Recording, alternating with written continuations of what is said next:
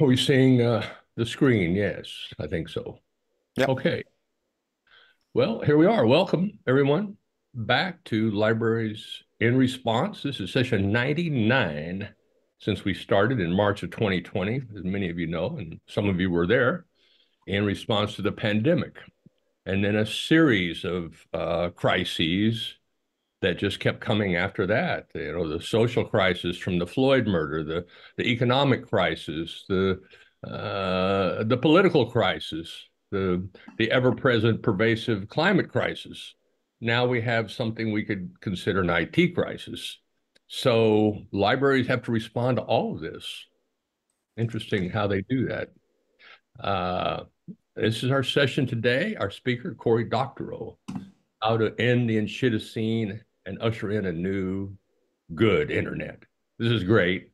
Uh, uh, Cory returns. He was with us a year ago uh, with twiddling and shitification the later day, latter day robber barons of the internet. So it seems like that Cory spent the last year illuminating this uh, problem, this circumstance, and now is turned to a response to that, which is good news. So that's what we're going to hear today. We are the Gigabit Libraries Network, uh, open collaboration of, of uh, innovative tech-using libraries. And we are hosted and recorded by the International Federation of Library Associations and Institutions based in The Hague.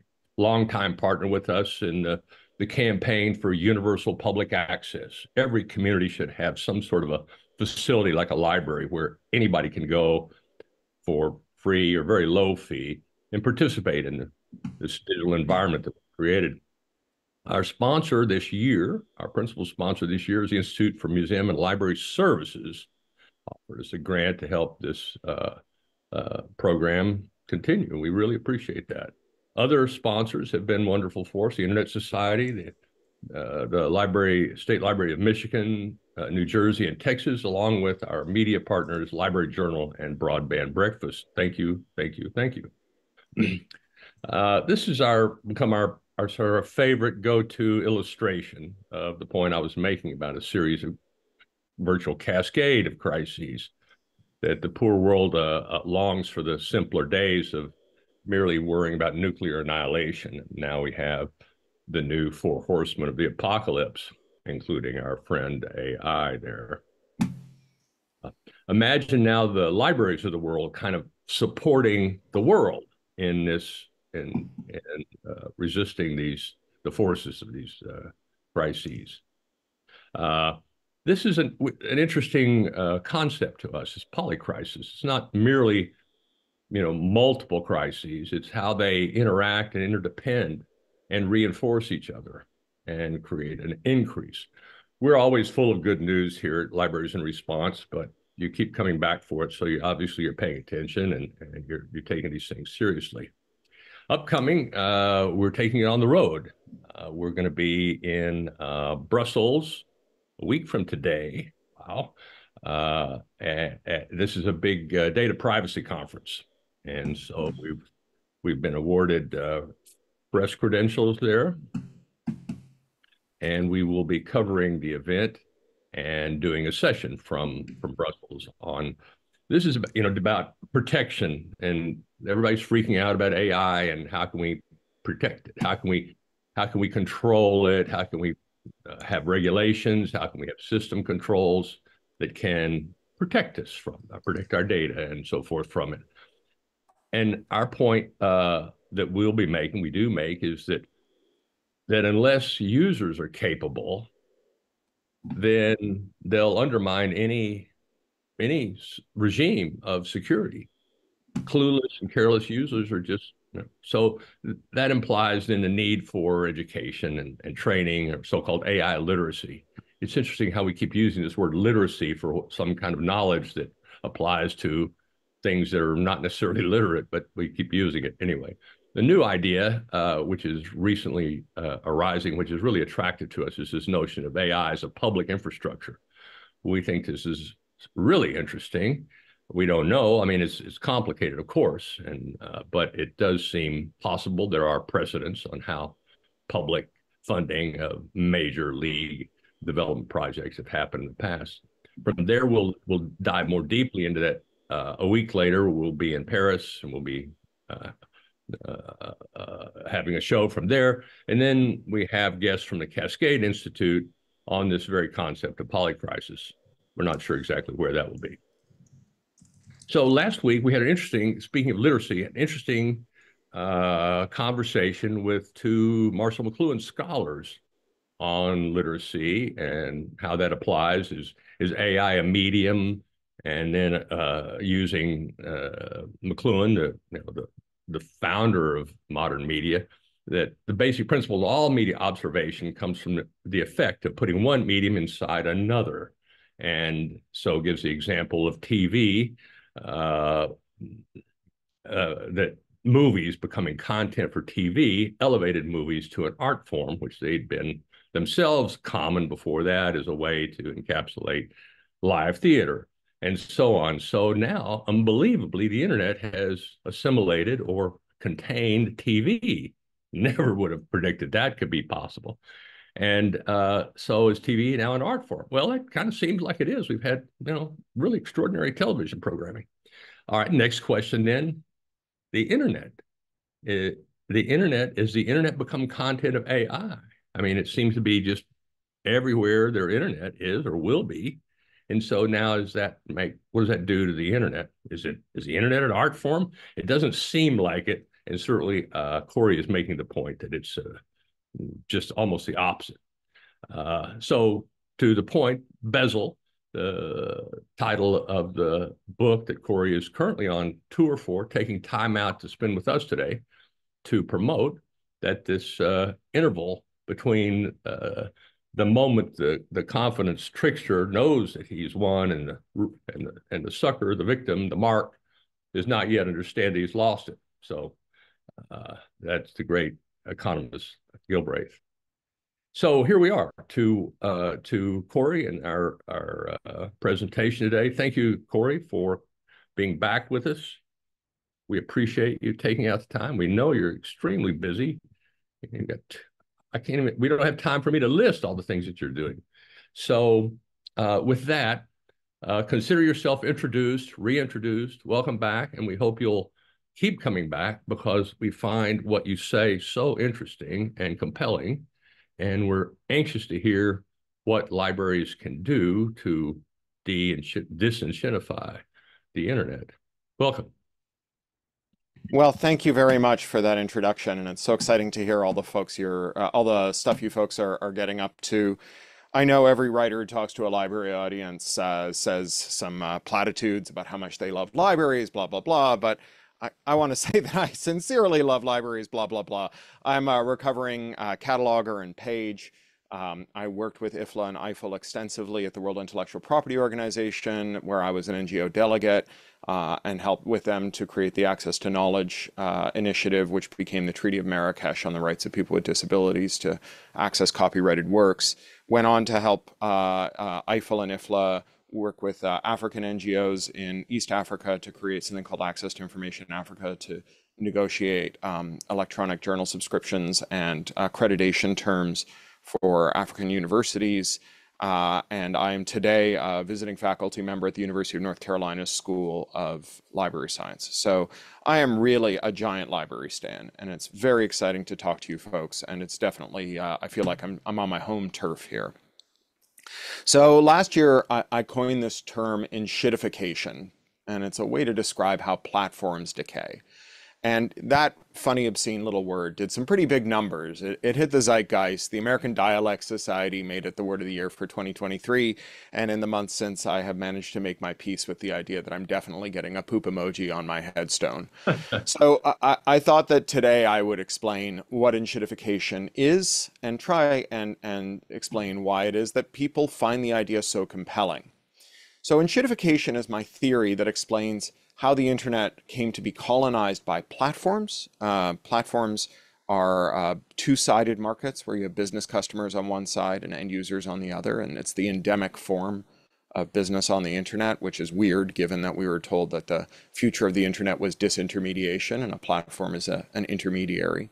So this theory explains how these intermediaries colonized the internet and how they started to degrade so quickly and so thoroughly, and why that matters to us, and I think most importantly, what we can do about it. Because I put it to you that we are living through the Enshittocene, a kind of great enshittening, in which these services that matter so much to us, that we rely on for so much, are all turning into giant piles of shit all at once. And this is frustrating at the best of times, but can actually be quite demoralizing or even terrifying because of the role that these platforms have assumed in our daily lives. I think that my enshittification framework goes a long way to explaining what's going on. And I think it moves us out of a mysterious realm in which the great forces of history have conspired to make things bad and into a material world in which named people made specific decisions. Because in that world, we can take it upon ourselves to reverse those decisions. And as to the people who took those decisions, we can uncover their names, we can uncover their addresses, and we could probably make a pretty shrewd estimation of what size pitchfork they take. So let's break down this enshittification idea. Uh, I uh, uh, use the metaphor, the very timely and, and zeitgeisty metaphor of a pandemic.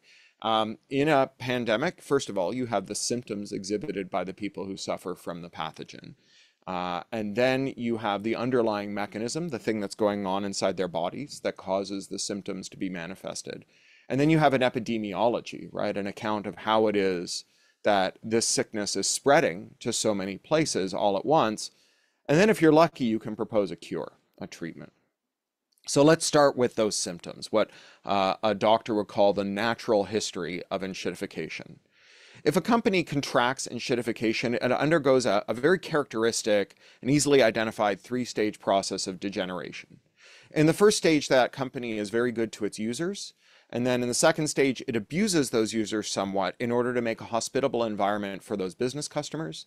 And finally, it abuses those business customers, clawing back all the value from both end users and business customers to take all the value for itself, and then it dies. Or at least it turns into a giant pile of shit.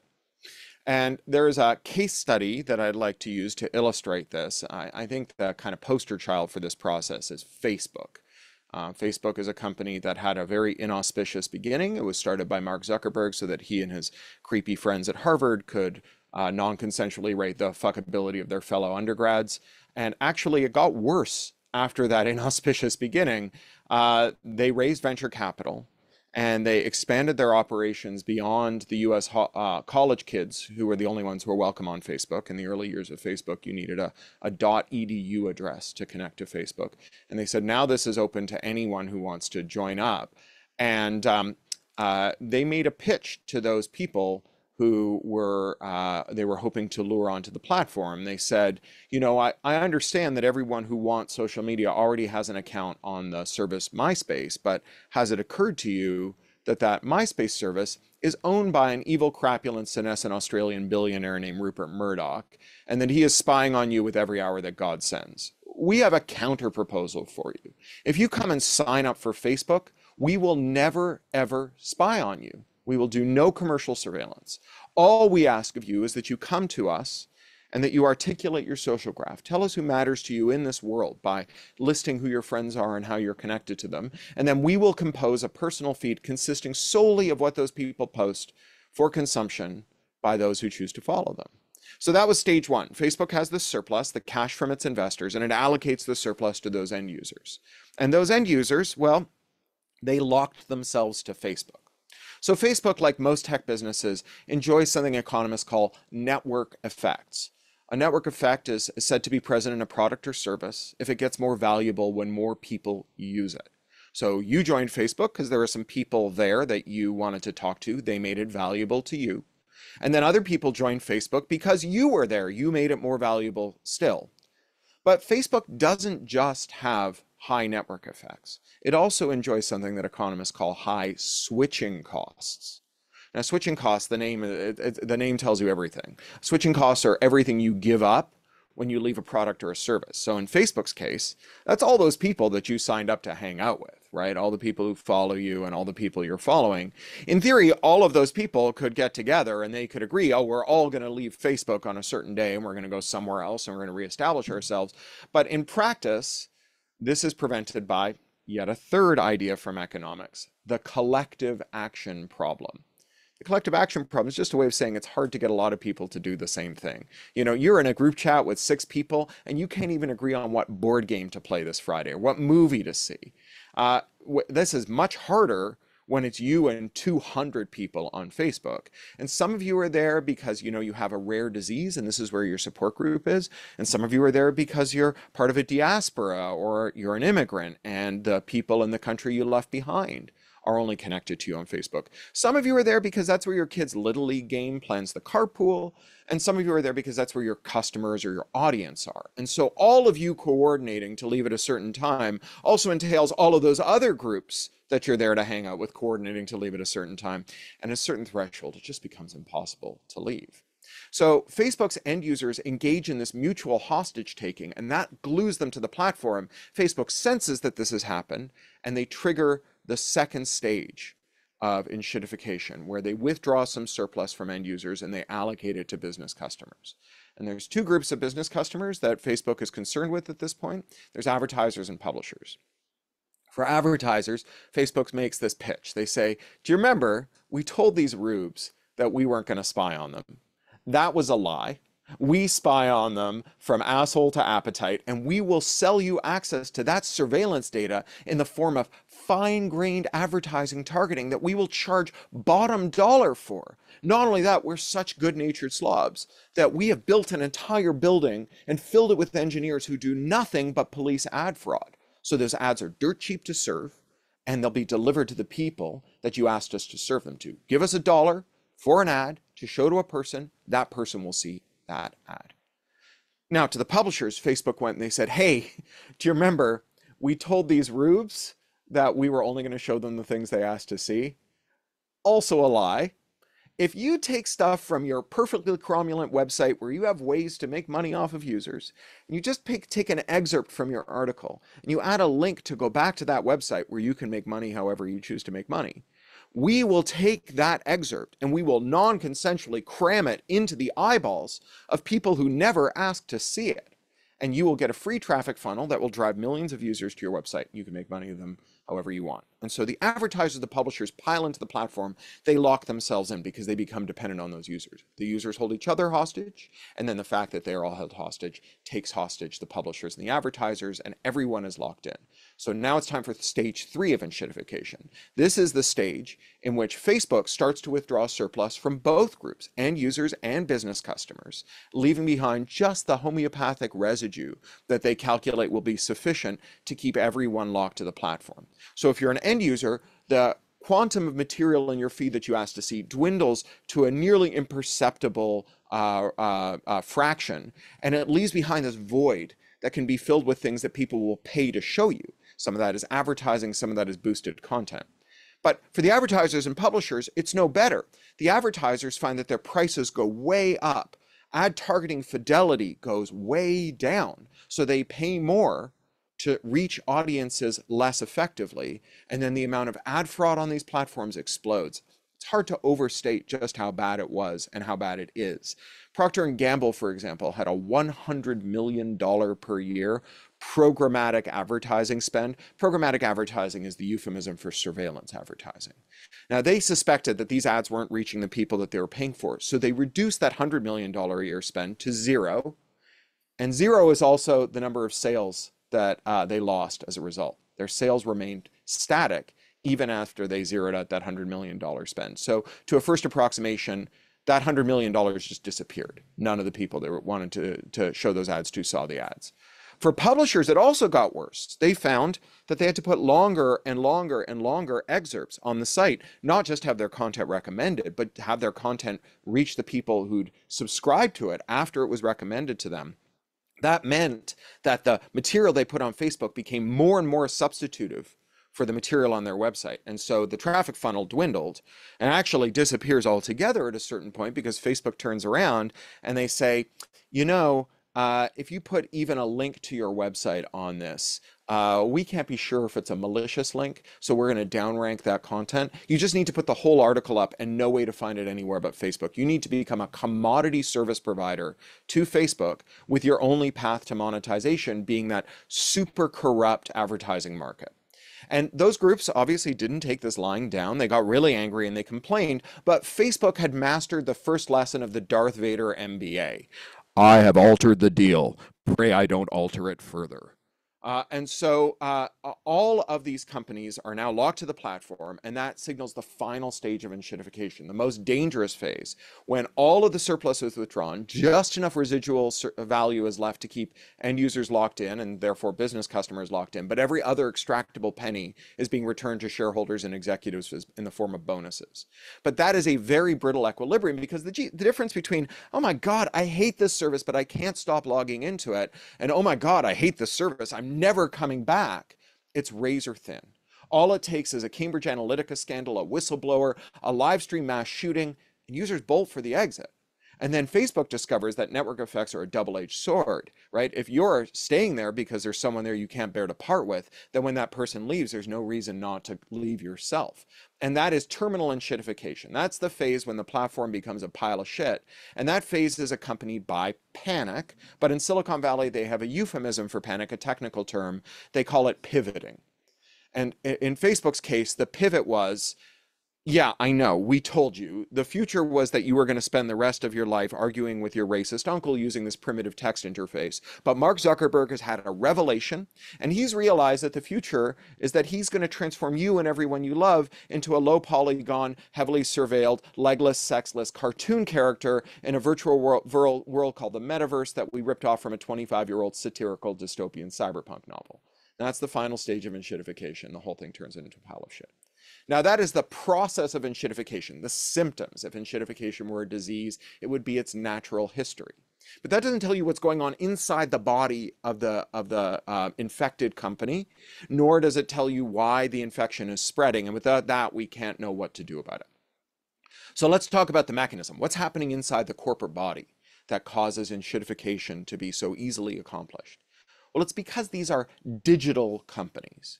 And digital is different in that computers are very flexible.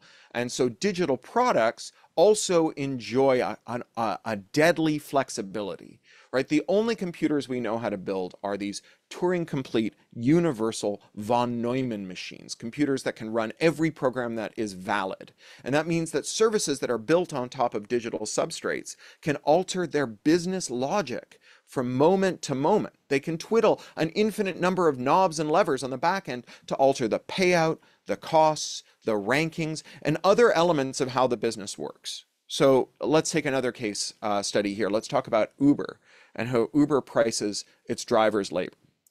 Every driver for Uber is offered a different wage for the same ride. And the major determinant of that wage is how choosy the Uber driver is. If a Uber driver has been selective and turned down a bunch of rides, they get offered more to do the same ride than an Uber driver who is less selective in which rides they're willing to take. You can think of these as a proxy for how independent a driver is of their Uber income. If you're taking even very low priced rides, you must really depend on Uber. And Uber's goal is to make you independent so they can lower your wage. And so what they do is they tighter your wages up when you're selective. But as that wage reaches the threshold at which you'll accept it, on a random interval and at random increments, they start to lower that wage. Now, if you balk and you uh, uh, refuse to uh, continue to drive, they tighter the wage up again. They're playing you like a fish on a line. And they don't have to be stronger than you, as with any fisherman. They just have to be tireless. They just have to exhaust you. And eventually, Uber drivers end up in a low wage trap where they have been pushed into accepting a wage that's very low, but they've also jettisoned the other side hustles they had that let them be more selective in what they want. Now, this is not a unique insight, right? You don't have to be a modern genius to think that this is a great way to trap workers into low wages. You know, all those black-hearted coal bosses that Tennessee Ernie Ford wrote ballads about would have surely loved to have done this to their coal miners. The thing that hamstrung them wasn't their, you know, um, sociopathic imagination. It was that they could not build a boiler room big enough, nor fill it with enough guys with green eye shades to adjust people's pay packet from moment to moment and second to second. Right? When you're playing a shell game, it's not the sophistication of the trick that fools someone, it's the quickness of the hand that deceives the eye. When you add a computer to a business, you end up with a shell game that has the very fastest hands. So this is something that happened with Facebook as well. When publishers said, oh, we're being asked to put uh, substitutive excerpts onto the website in order to reach our audience, they would sometimes balk and they would pull back from posting on Facebook. Well, Facebook's algorithm could reach into the archive material they had posted and just show it to 30 million people. And then the publisher gets a flood of traffic, a ton of ad revenue, and they say to themselves, I guess I'm better at this Facebook thing than I thought I was. And they're back in the game. Uh, so the flexibility of digital, that proliferation of knobs that platforms can touch whenever they feel like or automate altogether, that is the underlying mechanism. It becomes a system of pumps that can move value very quickly from end users to business customers, business customers to end users, both to shareholders or shareholders to both as is needed to bring people in and then drain them of value. That is the underlying mechanism of the disease. That is how the disease works. Well, this leaves us with one final question to answer about how this disease is working in our world. The epidemiology, the contagion that's turning everything into a pile of shit right now. What led to the enshittocene? What is it about this moment that created the great enshittening? Was it the end of the zero interest rate policy? Was it that these companies had heroic tech leaders that really cared about their products who retired and were replaced with bloodless bean counters? Or is it just that Mercury is in retrograde? Well, I don't think it's any of those things. The, the period of free fed money certainly gave tech companies a lot of surplus to play with, right? And that did supercharge their ability to do these, these shell games. But Facebook started enshittifying long before the zero interest rate policy ended, and so did Amazon, Microsoft, and Google. Now, it's true, some of these tech companies did get new leaders, but, you know, take Google, right? Their enshittification got much worse after the original Google boys came back to oversee their AI panic, I mean, their AI pivot. And I don't think it can be Mercury in retrograde because I am a Cancer. And as everyone knows, Cancers don't believe in astrology. So when a whole bunch of independent entities all start changing in the same way at once, it's a good bet that what's actually changing is not endogenous to those bodies. It's rather some exogenous environmental factor that is acting on those bodies. And that's what's happening with tech. Now, all companies, including tech companies, have a conflicting set of imperatives, right? They want to make as much money as possible, but making money involves hiring and motivating competent staff and making products that customers want to buy. And the more value that a company permits its employers, uh, employees rather, and its customers to carve off, the less value it has to return to its shareholders. So to get an equilibrium where companies produce things that we like in honorable ways at a fair price, we have to have a, a system where charging more, worsening quality, or harming workers costs the company more than it stands to make by playing dirty. Now, forces that discipline companies that stop them from playing dirty, there's four of them in the case of tech companies. Two of them are universal and two are, are specific to the tech firms uh, broadly. So the, the, the two forces that are universal and very well known, uh, the first is competition right? If a company fears it's going to lose your business, on balance, they'll treat you better, right? And if they don't, if they don't learn that lesson, well, they're going to lose your business, right? And either they'll learn, learn the lesson or they'll croak as a result. The second is regulation, right? If a company uh, has a reasonable fear that a regulator is going to fine them more than they stand to make by cheating you, they'll cheat you less. And again, if they have too much hubris to uh, contain themselves, then when they cheat you, they'll get fined and all the benefits expected from cheating will be wiped out by the fines and then they'll go out of business. So that's every company in the world is, is uh, has to struggle in some way with competition and regulation. But tech companies have two more constraints that act on them that are, are unique and distinctive to tech. One is technical and the other one is social. The technical constraint is something I call self-help.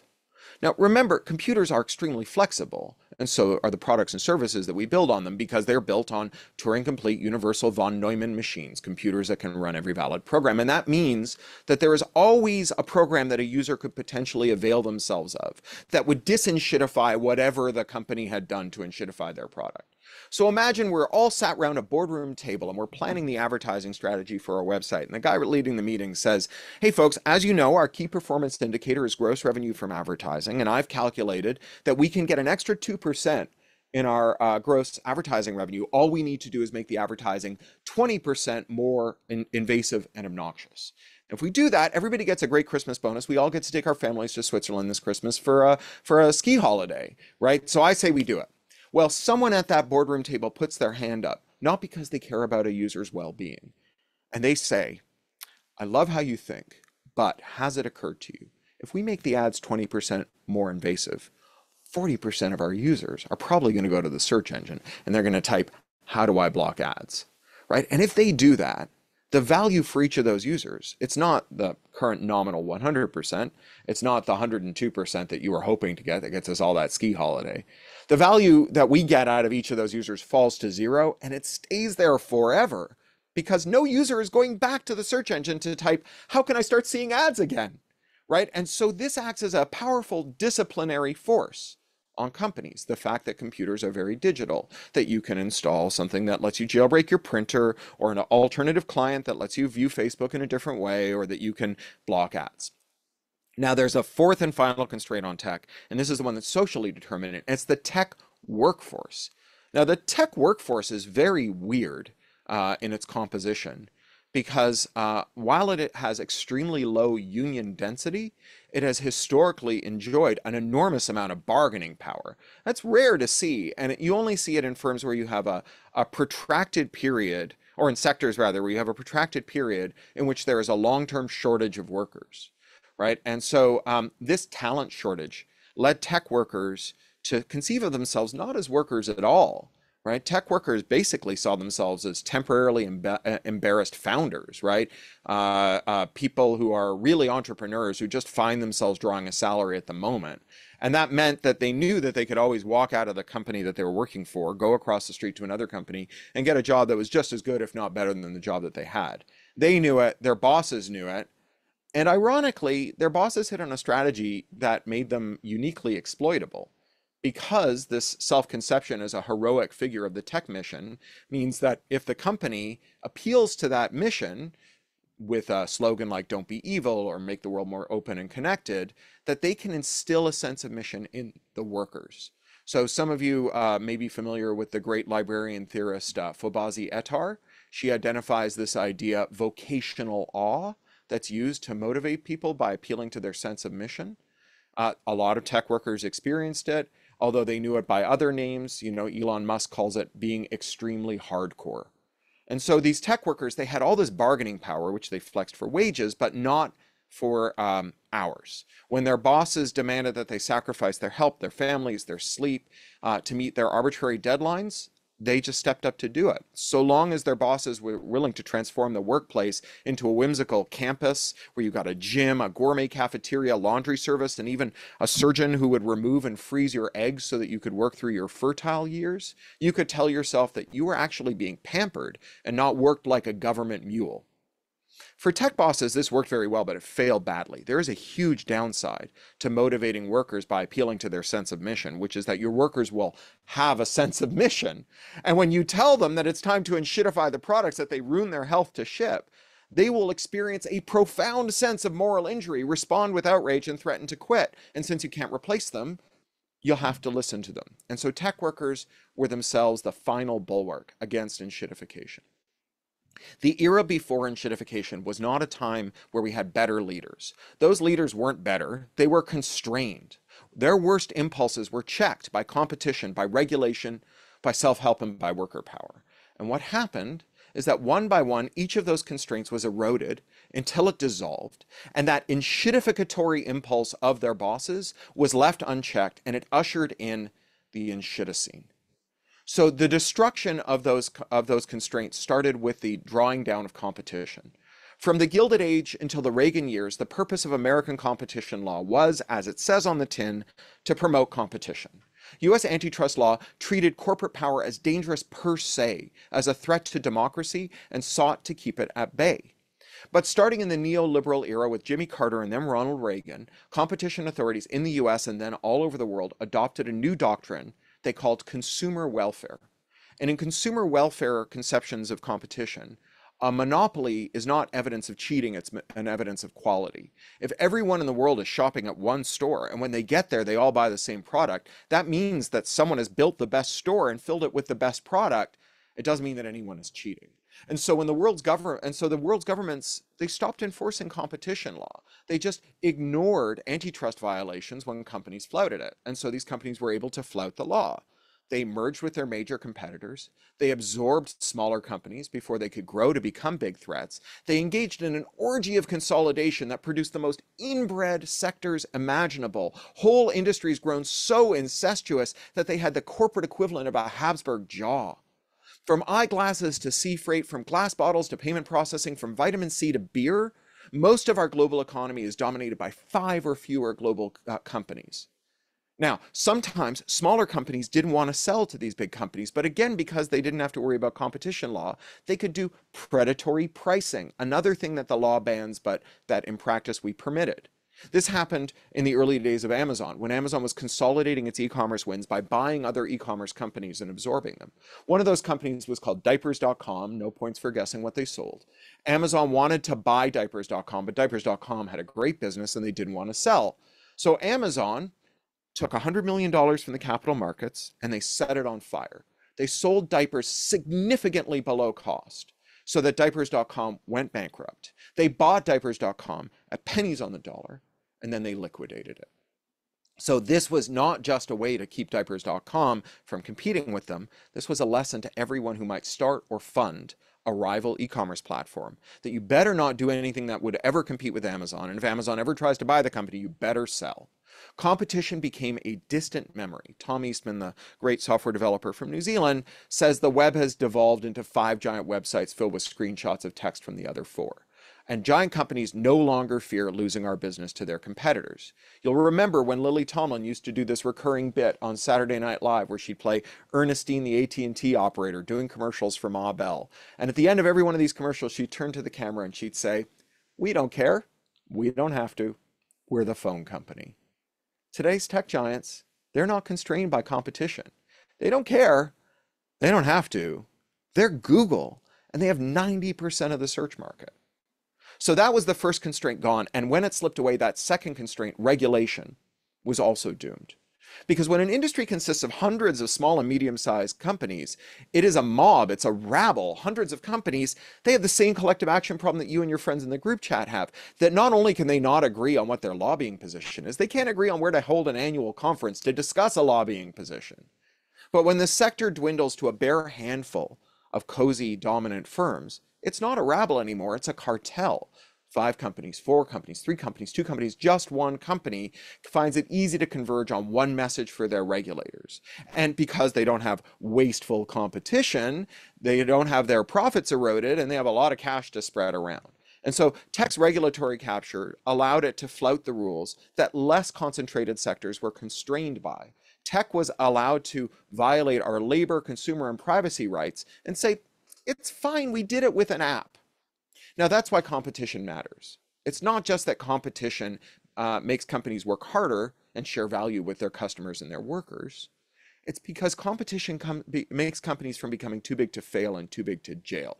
After all, there's lots of things we don't want companies to improve by sharpening them with competition, right? Like take commercial surveillance. It would be very perverse to use competition to pit companies against one another to see which one can become most efficient in spying on us. We don't want companies to become better at violating our human rights. When companies harm us, we don't want them to compete to get better at harming us, but we do want regulators to be able to step in and extinguish that harmful conduct. And the more concentrated a sector is, the harder it is for regulators to, to hold it in check. Instead, the companies that dominate the sector also come to dominate their regulators, and they ignore the harms they inflict. So with privacy, we have Google and Facebook acting as though they don't have to obey privacy law because they violate the law with an app. And we have Uber able to violate labor law. They say that it doesn't matter because they do it with an app. And we have Amazon violating our consumer protection laws, saying it doesn't matter because they do it with an app. You know, Amazon has this thing. It's a $38 billion a year sub business they call an advertising system. And I use the sarcastic finger quotes here because they're not selling ads. What Amazon sells is the right for things that don't match your search query to be highly ranked in the search results when you search on Amazon. When you search Amazon, the first result that comes up is on average 29% more expensive than the best deal, the best match for your search. That first row, the first four items, 25% more expensive than the best match for your query. On average, to get the best match for your query, you have to go down 17 places in an Amazon search result. if you walked into a store and said, "Sell me your cheapest Duracell batteries," and instead they turned around and sold you name uh, house uh, brand batteries that cost thirty percent more than Duracells, your attorney general would step in and find them, and if they didn't stop, they'd shut them down. But Amazon says it's not a consumer rights violation. It's not fraud. We did it with an app. Now, if your attorney general won't act here, if your regulator won't act here, it would be sure nice if you could act to help yourself. And this is where those self-help apps would sure come in handy, right? If um, you know, Google and Amazon and, and Facebook are violating your privacy rights and the government won't step in, well, you could just install an ad blocker. More than half of all internet users are blocking ads and in so doing protecting their privacy. It's the largest consumer boycott in world history. But the web is an open platform. It comes from an age in which tech was made up of hundreds of companies at each other's throats who hadn't captured their regulators. And the, the web is being supplanted by apps. Apps are the product of a monopolistic duopoly, two companies that run our mobile ecosystem, and those apps are designed for enshittification. Because after all, regulatory capture, it's not just the right to uh, flout regulation, it's also the right to wield regulation, to co-opt your regulators and send them after your competitors to shut them down. Now, the self-help measures that you might take advantage of, they're familiar to the tech giants. The tech giants got big by exploiting them. You know, back when Facebook was telling people, hey, leave MySpace and come to Facebook, we're not an evil Australian billionaire's uh, playground. The, the pitch didn't end there. They didn't say, hey, we got a better privacy policy, so why don't you come and just reread that policy until your foolish friends get tired of MySpace and come join you here on Facebook. They gave those users a bot. And if you gave the bot your username and your password, it would go to MySpace several times a day and it would scrape all of the messages waiting for you, having logged in as you, bring them back, push them into your Facebook inbox. You could reply to them and then it would push them back out to MySpace. Um, but every pirate wants to be an admiral. When Facebook and Apple and Google did this kind of adversarial interoperability, reverse engineering other people's products and modifying them, that was progress. But if you do it to them, that's piracy. If you try to make an alternative client for Facebook, they'll say you violated the Digital Millennium Copyright Act. If you try to make an Android program to run your iPhone apps and play back the data that you've bought from Apple's media stores, they'll bomb you till the rubble bounces. Try to scrape all of Google, they'll nuke you until you glow right? There's no end to the degree of regulatory capture that tech enjoys.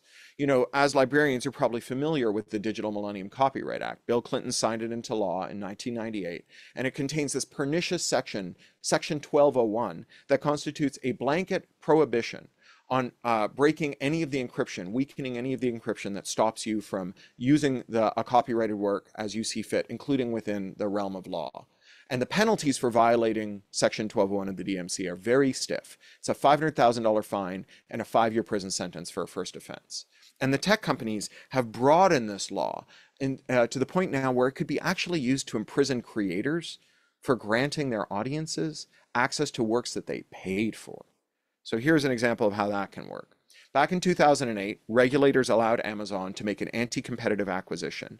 They bought Audible, which was at the time the leading audiobook platform and today is the monopoly platform with more than 90% market share. And Audible, under, manage, uh, under management by Amazon, requires everyone who sells an audiobook on the platform to allow Amazon to put its digital rights management on it, to encrypt it so that it only plays back on an Amazon app. So if I, as a writer, write a book, which I do with alarming regularity, and then I go into a studio and I record the audiobook, which I've been known to do every now and again, and I pay the director, I pay an engineer, we make a high quality audiobook, we sell it to you on Audible for $17. And then later on, I decide I don't like the deal Audible is giving me. I'm going to sell my books somewhere else. I'm going to withdraw them from Audible, and I'm going to give my uh, listeners a tool so that they can just migrate their collections to that other platform so they can follow me there. I can't do that providing such a tool is a felony punishable by a five-year prison sentence and a $500,000 fine, even if that tool is only used to unlock the books that I made and then paid to adapt into an audiobook and that you bought from me via this intermediary. That is a stiffer penalty than you would face if you just went to a torrent site and downloaded my audiobook. It's a stiffer penalty than you would face if you found a truck stop where they were selling it on CD and you shoplifted it. It's also a stiffer penalty than you would face if you found the truck that delivered the CD and held up the driver and stole the truck. So think back to those ad blockers again. We're in our product planning meeting. We've decided we're not going to make the ads on the website more obnoxious because we're worried about users installing an ad blocker. So a person leading the meeting says, well, I've also been thinking that we can make the ads in our app more obnoxious. Uh, if we make those 20% more obnoxious, we get 2% more from the app. Maybe that'll get us the ski holiday.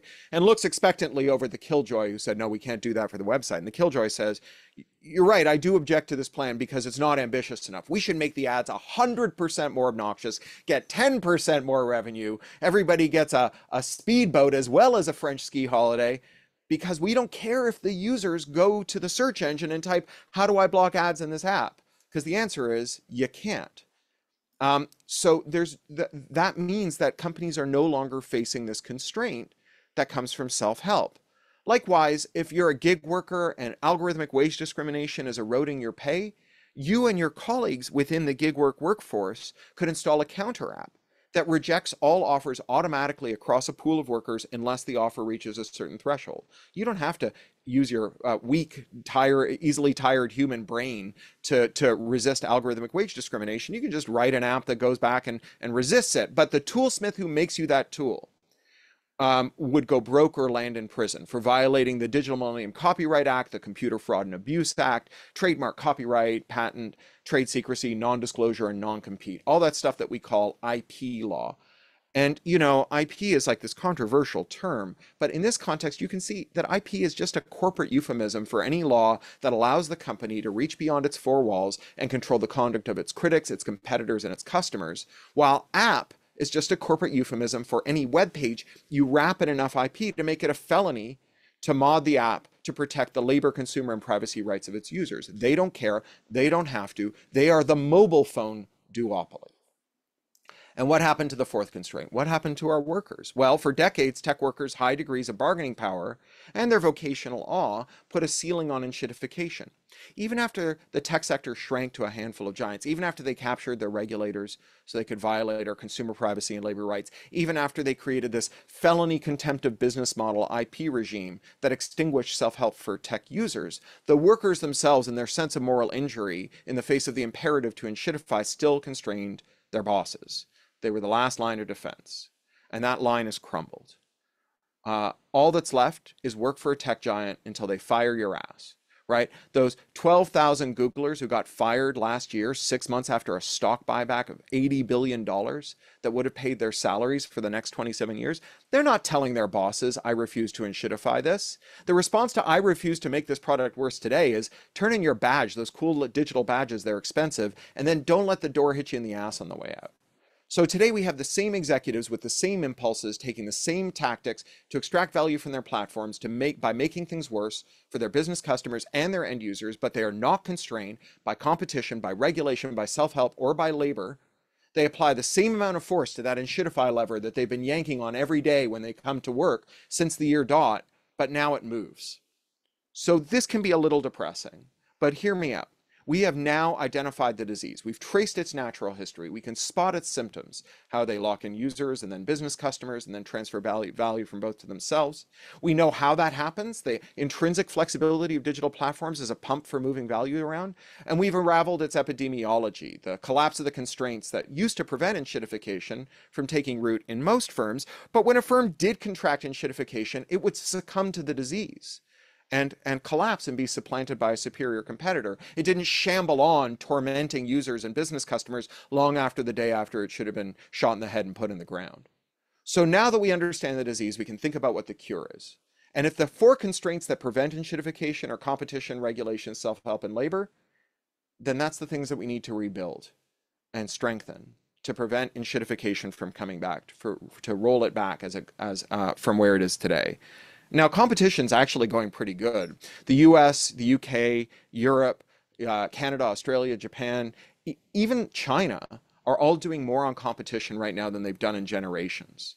They're blocking mergers, they're unwinding existing ones, they're taking action on predatory pricing and sleazy tactics because they already have the laws to do so. They just stopped enforcing them in the Reagan era. Now, the beneficiaries of enshittification don't take this lying down. The business press can't stop talking about how stupid and old fashioned this stuff is. They brand people like me hipster antitrust. And well, any regulator who's willing to do their job, they just hate.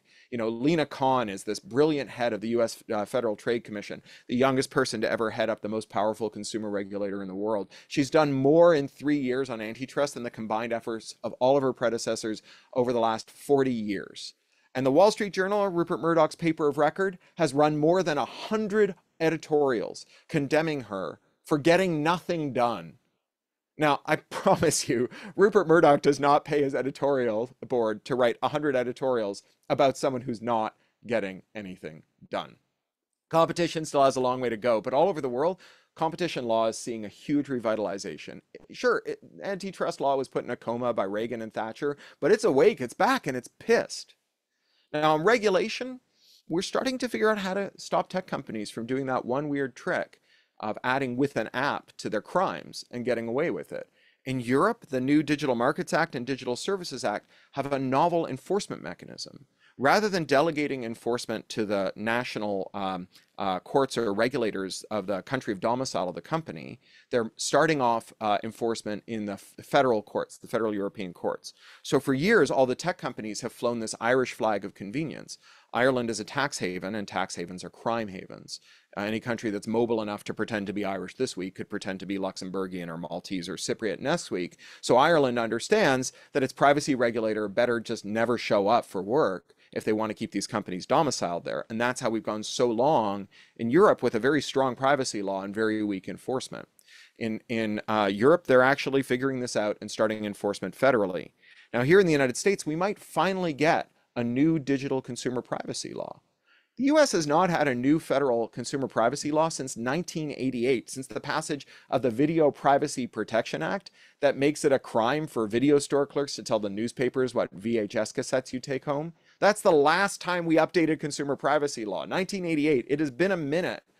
And there are a lot of people who are angry about the stuff that goes on that has some nexus with America's poor privacy landscape. Maybe you're worried that Facebook made your grampy into a QAnon, or that Insta made your teen anorexic, or that TikTok brainwashed millennials into quoting Osama bin Laden. Or maybe you're worried that cops roll up the identity of everyone at a BLM demonstration or the January 6 riots by getting their location data from Google, or that red state attorneys general fo- follow teenagers across state lines into abortion clinics, or that black people get discriminated against through online lending or hiring platforms, or maybe, you know, someone's making AI deepfake porn of you a federal privacy law with a private right of action that let us sue even if the prosecutors didn't want to take the case will go a long way to rectifying those problems. And that constitutes a very big coalition for privacy law which is why we're seeing more action on privacy now than we have in years. Now on self-help things are a little further away Europe's Digital Markets Act does require the platforms under limited circumstances to allow interoperators to stand up gateways that allow people to plug in compatible systems. And that's going to help some. But if you want to do something that the DMA doesn't contemplate, Europe's got nothing for you. Uh, in the United States, we're starting to see some pretty interesting self help stuff through right to repair. Oregon just passed a law that bans companies from using IP measures that would prevent rever reverse engineering, at least for repair. And there's something pretty on brand here between Europe and the US, where Europe says to the companies, here's what you must do. And America says, you just don't get to use the courts to stop other people from doing stuff to you. It's a kind of a YOLO, God Save America approach. And, you know, the two are very complementary because if someone doesn't want to use the European mandatory gateway, and instead chooses to do the guerrilla warfare of the American approach, it probably tells you the European mandatory gateway could use a, another look because it's not useful enough. And you know, this self-help stuff, I think it's gonna it's gonna happen because as Stein's law goes, anything that can't go on forever eventually has to stop. Um, after years of being sabotaged uh, by companies that can control how we use our products, we're just getting fed up. It is just offensive that H- HP has a whole building full of engineers who do nothing but try to figure out how way, new ways to make you miserable and force you to spend $10,000 a gallon on ink to print out your boarding cards and your shopping lists. The only people who don't agree with this stuff are the people running monopolies in other industries who want to do this to, to their products, like medtech monopolists who lock insulin pumps to glucose monitors in the hopes of turning people with diabetes into walking uh, inkjet printers. And then finally, the constraint that we had that, that we need to bring back is labor. And labor is also looking pretty good. We have had a massive surge in tech uh, unions. Tech workers are realizing they're not just founders in waiting. The days of tech workers getting free massages and being able to show up for work with facial piercings, green hair, and a black t shirt that says something their boss doesn't understand, they're coming to an end. In, in, in Seattle, Amazon's tech workers walked out with the warehouse workers, realizing that they are all workers. And the only reason those tech workers aren't being monitored by AI that notifies your boss if you pee too often is because you have rapidly dwindling bargaining power. The way things are going, Amazon tech workers will join Amazon warehouse workers in peeing in a bottle next to their workplace. And you know, as a sidebar here, let's contemplate how, as a guy who built a penis shaped rocket, Jeff Bezos has a weird antipathy towards our kidneys. So we are seeing uh, bold global action on competition, regulation, and labor with some action on self-help as well. And it's not a moment too soon because there is some bad news here, which is that enshittification comes to every industry. Once you put a network computer in your product, the people who made it can run that Darth Vader MBA playbook on it. They can change the rules from moment to moment, violate your rights, and say, it's okay, we did it with an app. Mercedes is now renting you the accelerator pedal in your car by the month. There are Internet of Things dishwashers that require that you use proprietary dish soap. Enshittification metastasizes into every corner of our lives software doesn't eat the world, it enshittifies it. Train your attention on the other end of the alimentary canal. But the bright side of this is that once everyone is threatened by enshittification, everyone has a stake in enshittification. Just like with the Privacy Law Coalition, the potential anti-enshittification coalition is unstoppable.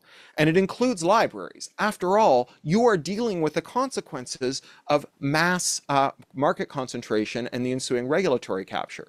You can't buy an ebook, you can only rent it. That's classic twiddling. They can change the terms of your ebook from moment to moment, second to second. Once I sell you a book, I can't change the rules. The book is yours and copyright law constrains you, not 20,000 words of garbage legalese in a user agreement. You see the uh, cartel of publishers going after the Internet Archive and threatening the very idea of controlled digital lending so that you can't take the self-help measure of scanning the book and digitizing it, and you must take the offer that they have for the licensed ebooks. And then you have the private equity acquisition and consolidation of the tool suite you use. So KKR buying Overdrive being the most uh, uh, important example. Now, cynics among you may be skeptical that caring about enshittification or reversing it will make a difference, that enshittification is maybe just a euphemism for capitalism. I don't think it is. Look, I'm not going to cape for capitalism here. I am not a true believer in markets as the most efficient allocator of resources or arbiters of policies. If there was ever any doubt that that was the case, then surely capitalism's total failure to grapple with the existential climate emergency has erased it. But 20 years ago, we had a capitalism that made space for the wild and woolly internet, a space where people with disfavored views could find one another, offer mutual aid, and organize. And organize. Whereas today's new capitalism has produced a global digital ghost mall filled with bot shit, crap gadgets from companies whose names are all consonants, and cryptocurrency scams. The internet is not more important than climate emergency. It's not more important than gender justice, racial justice, inequality, and it's certainly not more important than stopping genocide. But the internet is the terrain on which we will fight those fights. Without a free, fair, and open internet, the fight is lost before it's joined. We can reverse the enshittification of the internet. We can halt its creeping enshittification into every digital device and build a new, better, enshittification resistant digital nervous system fit to coordinate the mass movements we'll need to fight fascism and genocide and save our planet and our species.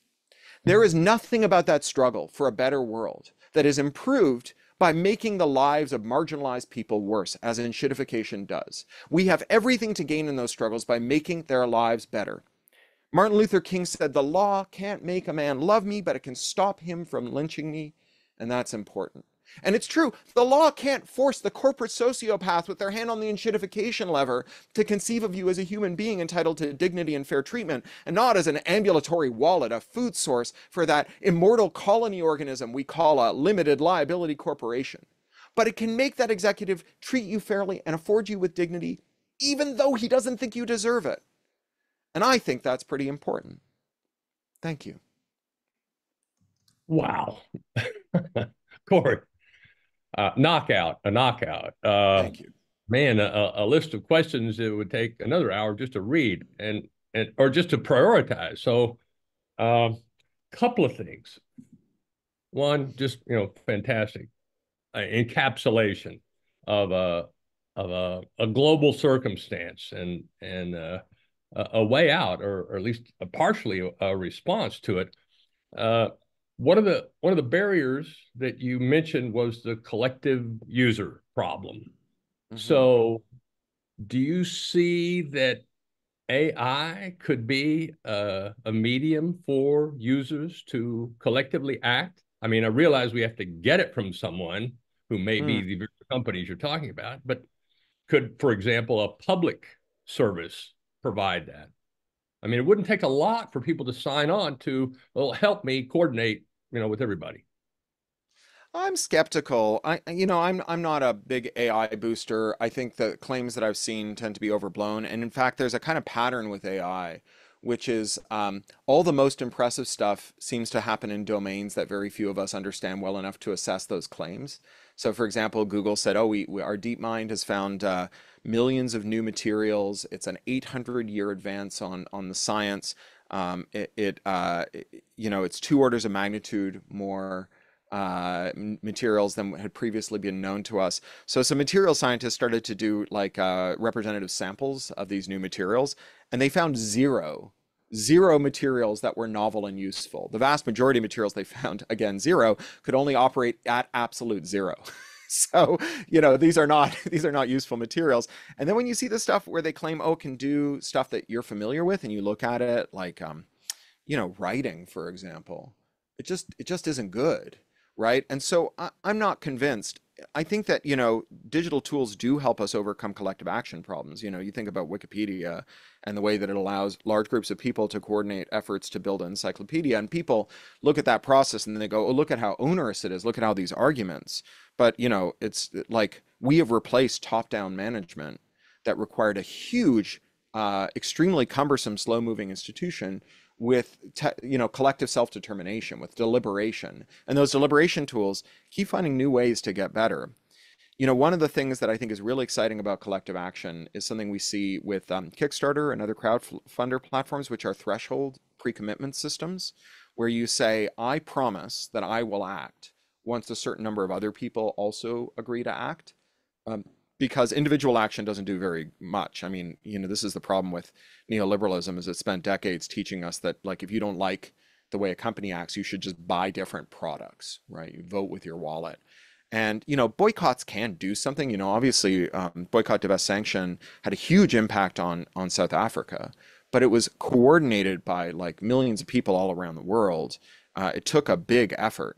Um, if you say, "I will boycott these companies' products, or I will do something like um, stop buying Overdrive and and use a consortium product developed by, say, New York Public Library and co- coalition with other libraries. They have a, a lot of cool digital e-lending tools. Once you know, 50 library systems have signed on and agreed to commit the same budget that they're spending on Overdrive to the ongoing maintenance of this system and its improvement and support, then you can actually resolve these collective action problems. And I don't think you need AI for it.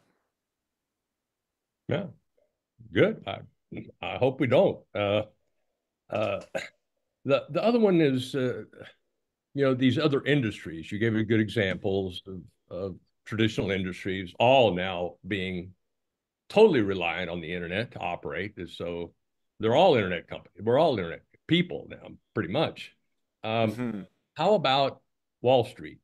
How about where we put our money? Are we being shitified by the very people we're giving our money to to take care of us for our life savings? Are they? Well, uh, yeah, I'm uh, like, so look, I'm happy to have enshittification used in loose and colloquial ways to mean things get worse or, or things get worse in certain ways. And, and certainly, I think Wall Street has done that. You know, the rise and rise of managed funds, for example, is uh, an example of um, how firms that uh, lose your money can make more money than firms that make your money grow.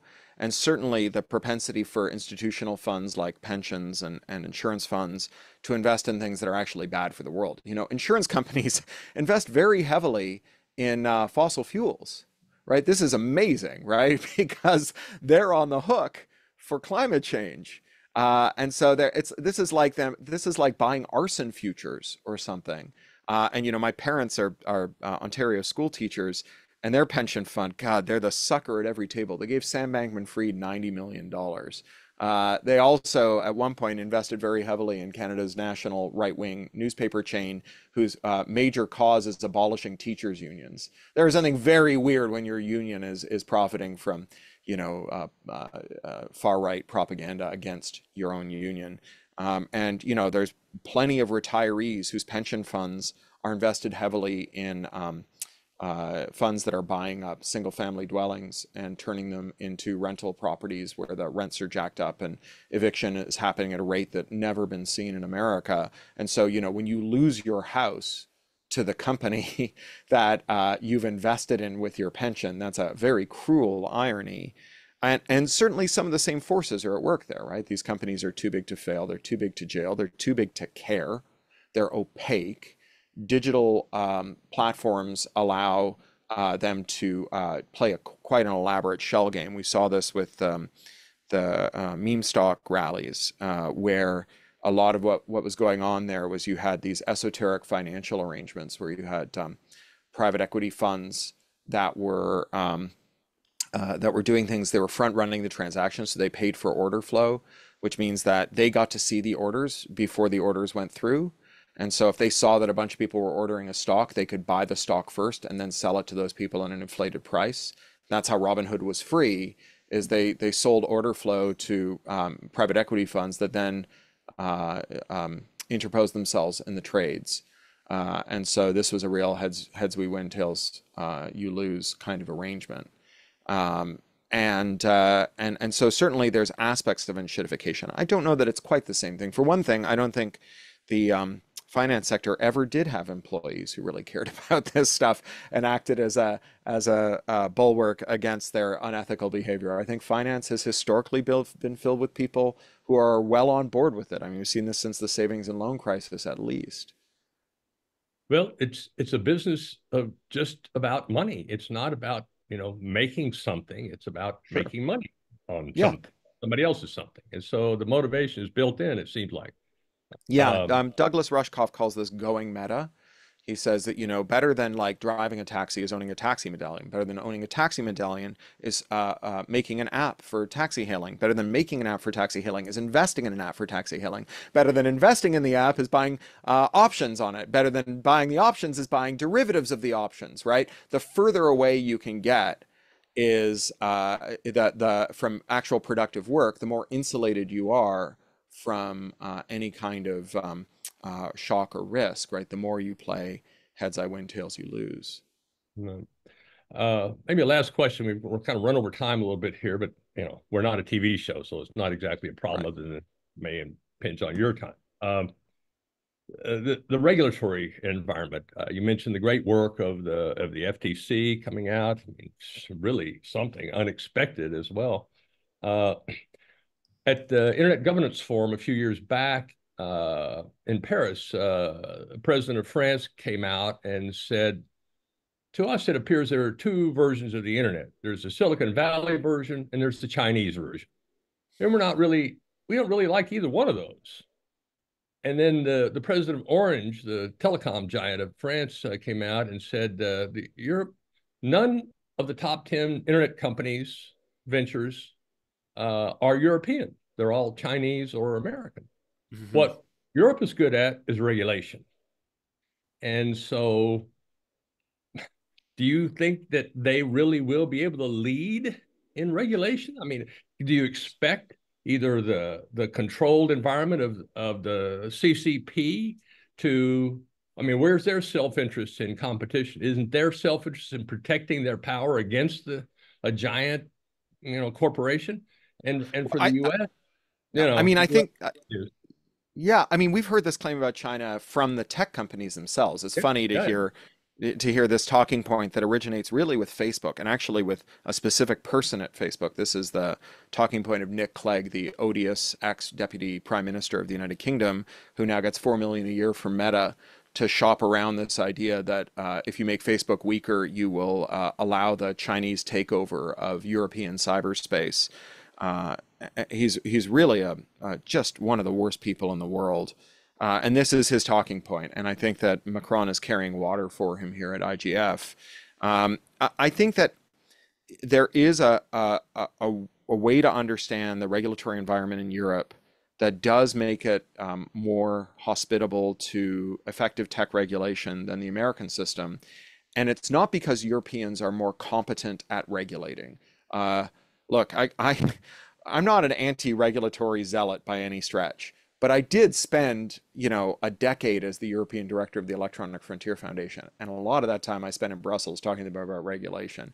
Europe has passed some absolutely bonkers, terrible regulation, including and especially tech regulation like the 2019 Digital Single Markets Directive that requires every platform to operate a copyright filter and block any user generated content that appears to violate anyone's copyright with no human in the loop right? This is this is just an extraordinarily bad policy, not least because it adds a like a two to three hundred million euro capital moat around starting a competing business, right? If you want to know why there's no European Facebook, you could start with the fact that you need to spend 300 million euros complying with the Digital Single Markets Directive and building your copyright filter, right?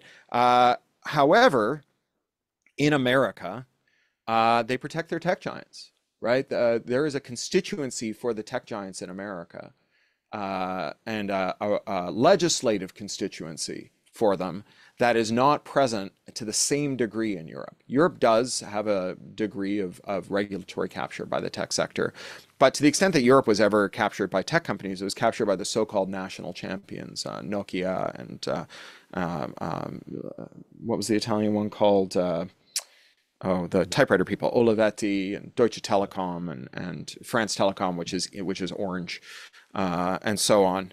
Uh, and you know, to a large extent, those companies, because Europe had weak competition enforcement, they just let Americans buy them. Most of those companies are divisions of American companies now. Um, China is also quite hostile to its tech companies. This is the funny thing about Clegg's argument, is that um, far from treating uh, tech giants in China as uh, you know, projections of Chinese soft power abroad, Xi Jinping treats them as rivals for power within China. And he has been systematically scooping up and, and sticking in gulags the leaders of those companies. Now, I don't want anyone in a gulag, but I think if you're Nick Clegg and you're like, oh, actually, those Chinese tech giants are just a projection of the CCP, you have to explain why this CCP is throwing their leaders in gulags, right? As opposed to like having them around for cocktails. Um, so, uh, I, do think that like there is space in Europe to make rules. Not that Europe has more competence in making the rules, but it has more space to make the rules relative to the United States. You know, last year we had three really good tech antitrust bills that Chuck Schumer personally killed. They just they just never got to the floor. After he promised they would, he stabbed uh, the senators who he uh, traded with in the back on this, and actually opened a riff in the Democratic caucus that is um, been slow to heal and, and has sown some democratic disunity. So there's just there's just more more high-ranking legislators who will carry water for American tech companies. And even the ones who are good are bad selectively. You know, you have um, Zoe, Zoe uh, Lofgren, who's very good, except when it really strikes the bottom line and then is quite unpredictable. Yeah.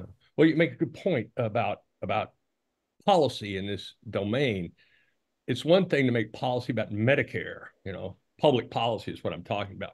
There's a gap between public policy for tech, which is just indecipherable to the public. I mean, what are you talking about? This makes no sense to me whatsoever. I can I can I can barely change the ink cartridge of my printer. And now you're telling me I should mm-hmm. have an opinion about what you're talking. So we rely on what the apparent integrity of our representatives and the system that they're operating in to to actually do the investigation and understand this stuff at a technical level and the implications of it. That's a big lift. Uh, yeah, so it's it's it all runs very quietly then. Yeah, it's true in every expert regulatory domain. And, you know, this is an area where monopoly really interferes with sound policymaking because policymaking is a truth seeking exercise. You mm-hmm. solicit comments from industry, from civil society, from the public about the best way to technically manage a difficult technical question. So, you know, one that I think strikes to your members' interests is um, uh, um, net neutrality, right? So the FCC says some people say net neutrality uh, makes network management possible. Some people says it, it doesn't. What's true? And they invite comment. And because we have a handful of giant telecoms companies that have divided up the country like the Pope dividing up the New World and that don't compete with each other and that have converged on a single set of policies, what you get is them showing up and saying, it is technically impossible to run a neutral ISP. And then you get, you know, regional ISPs, mom and pop ISPs, uh, activists, uh, you know, community WISPs, small muni uh, fiber networks and so on saying, no, no, no, it's possible. Uh, and the regulator, you know, in the reply comments, hears back from those big the, those big cable giants saying, "Oh, sure, they say it's possible because they've got you know two orders of magnitude fewer subscribers than we do. Wait till they manage a big network, and then they'll understand that it's impossible." If there were a hundred companies vying for your internet business, the ones who are willing to tell the convenient lie that net neutrality is a technical impossibility would be countered by others who thought that they could win your business by offering you a neutral internet connection. And you would have a much better evidentiary basis for sound net neutrality rules. Carry this over into every domain. You know, in West Virginia, what we think of West Virginia as coal country, it's actually chemical processing country. It's, it's the biggest uh, industry in the state, and it's dominated by one company, Dow Chemical. And they held a proceeding around 2017 to ask whether they should grant a local variance for um, uh, more runoff from chemical processing in the drinking water. Uh, and you know that's a technical question with a with a technical answer. Like the amount of of runoff from chemical processing in the drinking water that is safe, it's not it's not zero, right? There's there's definitely like an amount that's the right amount. And as someone who like has a polymer artificial hip, I don't want all chemical processing to stop right? So I, I'm interested in a sound answer to that question. But the answer to that question that was provided by by Dow in the form of its industry association, which is dominates the biggest biggest player in, was West Virginians can tolerate more poison in their drinking water than the national average because the national average is calculated on the national average BMI. And here in West Virginia, they're fat. And so they can absorb more uh, poison in their bodies without getting sick. And also, on average, West Virginians drink more beer than other people rather than water. And so they won't be drinking the water anyways, right? This is just like risible, right? And the fact that there was no one else in the room who was as credible as Dow to say, no, don't poison people, changed the, the calculus of this truth-seeking exercise. You don't even need to have the regulator be in the pocket of Dow. You just need to have the evidentiary record that the regulator is forced to rely on be tilted to Dow's interest because of its domination of its sector. Yeah. Uh, you just remind me of the theme of a current movie out. Uh, Evil does not exist. This is very principle about downstream. Uh, uh yeah. One, one. Uh, are you an expert on uh, on fat absorption of toxins? You, you I am not. Okay. Yeah. All right. I am not in any way. I, I, I just know that um, if someone were to tell me that the fact that I got a little chub around the middle means that I can be poisoned more, and that person stood to benefit by poisoning me, I'd want a second opinion. Or a third, yes. Um, okay, but uh, you you remind me of the a few. It hasn't been that long since the tech industry was not engaged in policy. Yeah, you know, we don't do policy; we do business, and the phone company has always been, of course, involved in policy. And the ratio of uh, expenditures on policy R&D versus tech R&D was basically in, inverse of each other. So sure. the phone companies would have been like uh, uh, uh, seven percent of their gross revenue on policy R&D. The tech companies yeah. would spend less than one percent. I mean, this was this was ten years ago. Or yeah, and and now of course that's changed. And it, it yeah. was a calculation that that uh, the the phone company could make more mm-hmm. money, their, their, purpose, right, with one line of regulation than they could with a million lines of code. Yeah. So, so the difference here is cartelization. So the best lawyers, not the best engineers. Right. Optimize. So the difference here is cartelization, right? If the if AT&T, if every time AT&T spent a dollar on lobbying for a regulation that advantaged copper uh, telecom's twisted pair infrastructure, uh, Comcast spent a dollar on regulation that disadvantaged twisted pair but advantaged uh, coax, uh, it would be a wash, right? It's only when you get a cozy sector, right, uh, which is to say a small sector. You can't be co- can't be cozy with hundred people, right? Once once the sector converges. So you know, uh, like the canonical example here wouldn't be telecoms; it'd be entertainment, copyright. You know, during the mm-hmm. Napster wars, you had a couple hundred tech companies SMEs for the most part, with a couple of dominant firms, Intel, Microsoft, and so on. But not even Apple was very big back then. Uh, and then you had seven entertainment companies, which is now five, that were a cartel that had a common set of positions on uh, copyright and the internet. And they were two orders of magnitude smaller in terms of gross turnover than the tech companies. But they always said one thing. And, you know, as someone who was involved in a lot of these questions, not because I wanted to make tech companies rich, but because I didn't want things like universal surveillance of the internet in order to enforce copyright, I was ever frustrated by showing up in policy forums where a tech company would perceive a parochial advantage to selling out their users, right? They would say, oh, I can get a preferential licensing terms on some entertainment content if I take a position that is counter to my user's best interests and you would have just you it would just be a wash. You'd have the tech company that would say we cannot surveil our users for copyright infringement without surveilling them broadly. We cannot interdict copyright infringement without interdicting all kinds of protected speech. And then you'd have someone else who'd say no we totally can. We totally can. Of course. Why not? We have a magic copyright enforcement robot and it's going to make it happen. Right? And you know for so long as that was the case uh, we lost. And you know what happened to tech after that was it merged to monopoly. You know, you look at Google. Google is a company that made one successful product 25 years ago. They made a search engine that was really good. And then, almost without exception, they have not made a successful product in house since. Everything that they have that's a success, again, almost without exception, is something they bought in an anti competitive merger, right? That, that's their uh, video documents, maps, collaboration, server management, their whole ad tech stack, their mobile stack, all of it comes from someone else. Apple brings home 90 companies a year, right? Tim Cook is giving his shareholders a new company more often than you are bringing home a bag of groceries for your kids. And so these are companies that basically cleaned out the competition, right? By by by merging with them by doing what the telcos did, right? You know, you look at the history of AT&T and it's a history of predatory acquisitions of rural telephone co-ops started in the New Deal, right? That grew out of the rural electrification co-ops and regionals. And then, you know, you have the breakup in 82 and then immediately that's the last thing antitrust law ever does.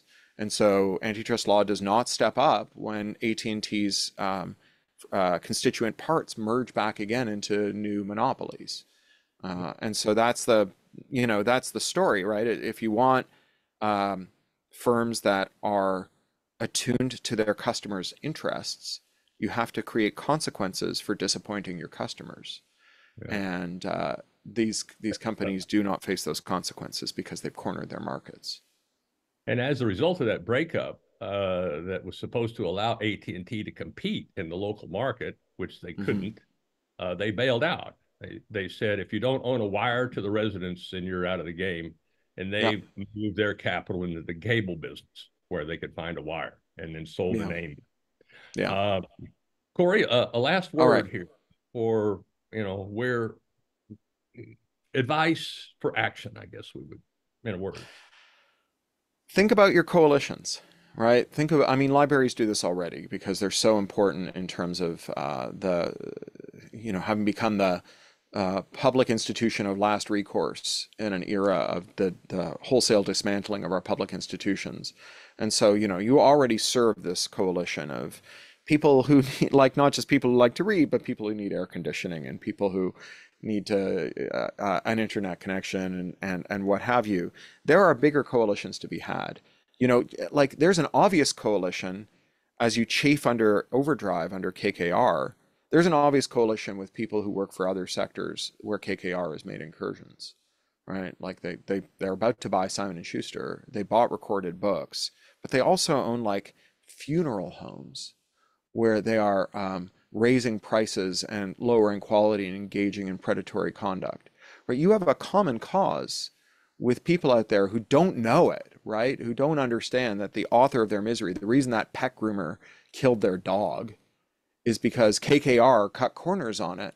And it's the same reason that, you know, it's getting harder to get audiobooks and ebooks.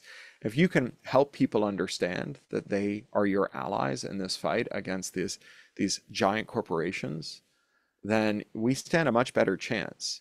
You know, something that's happening global, globally with antitrust enforcement that's really interesting is that when one antitrust regulator develops a record and takes an enforcement action against a global firm, that can become a template for other uh, actors. So, you know, the lawsuits about Apple and its App Store market are using the same records developed in, in courts and in regulatory forums in the UK, in Europe, in South Korea, Japan, and in the US, because the conduct is the same in all of those countries. And there are actual explicit cooperations, consortia being built of antitrust regulators because they all have loosely similar antitrust laws, mostly because um, most of the world's antitrust laws are uh, the product of the Marshall Plan. US technocrats went around the world after World War II and gave everyone American uh, antitrust laws, but also because the companies are the same companies everywhere and they do the same they commit the same crimes everywhere. So once you know where to look for the the crime in one place you can find it in the next country without having to look too hard. You have the same possibility with these with these um, uh, private equity funds that are the authors of your own misery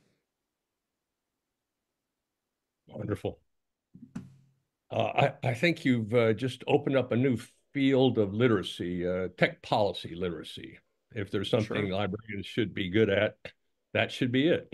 Not necessarily, yeah. you know, campaigning for public policy. It's it's a dicey proposition for civil servants, but uh, as far as helping people understand the environment they're in and how they can take action according to their own beliefs is is what libraries do. Librarians are just wonderful, wonderful people. So yeah. thank you again, Cory. So great to All have right. you back. Uh, we'll we'll look for you next year. Hopefully, this will have taken hold and we'll see some action on that. So that'd be great. Thanks again. All right. See you again. Talk uh, later. Bye. Stopping the recording.